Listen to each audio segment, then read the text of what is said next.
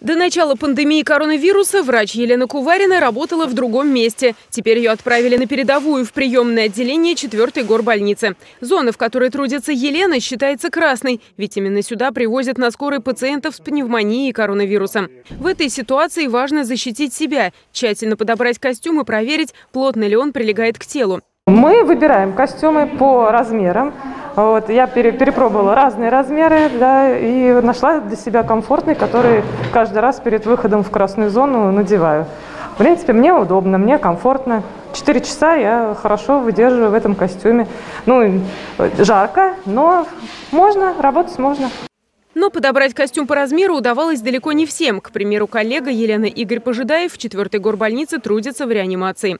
Рассказывает, и без того непростую работу анестезиолога осложняли тесные защитные комбинезоны. Каждые четыре часа смены, ограниченные в движении, их давались трудом. На помощь врачам пришли самарские производители. Костюм свободный, удобный, плотный, бахилы вшитые, то есть э, нет необходимости одевать еще одни поверх, как на ранее было предоставленных костюмах. Теперь Игорь Пожидаев может не только вздохнуть спокойно, но и полностью сосредоточиться на работе. Тем более, что двигаться в реанимации приходится активно.